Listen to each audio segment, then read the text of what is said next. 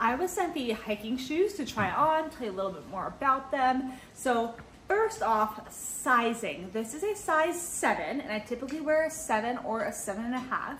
And when I tried these on, I found that seven was a little bit small. So I would probably size up to a seven and a half. So it's my larger of my flex size. So I would also recommend that you, if you are in between sizes like I am, choose your larger size or size up about half a size, depending on if you want a little extra room, especially in this toe here. Um, overall, I think it's a really cute hiking boot. I love the color scheme on this.